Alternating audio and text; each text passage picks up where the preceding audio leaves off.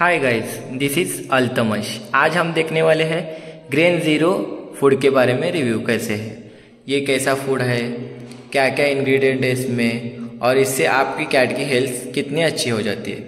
तो अभी ये प्रोडक्ट इंडिया में न्यू आया हुआ है। ये वैसे तो बहुत ही अच्छा प्रोडक्ट है, और, ये बजट में भी आ जाता है।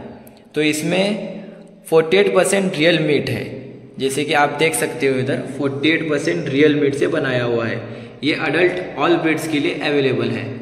और इसी के साथ इसमें किटन्स का भी आ जाता है।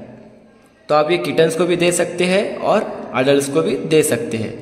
ये, इसके अंदर इंग्रेडिएंट्स देखिए आप ओशन फ़िश सैडिन मैक्रिल ये सभी आ जाते हैं। जिससे कि इससे आपकी कैट की मसल्स बहुत ही स्ट्रांग रहते हैं। उसी के साथ इसी में यहाँ देख सकते हो आप ओमेगा सिक्स और ओमेगा थ्री ये दोनों भी है इसमें।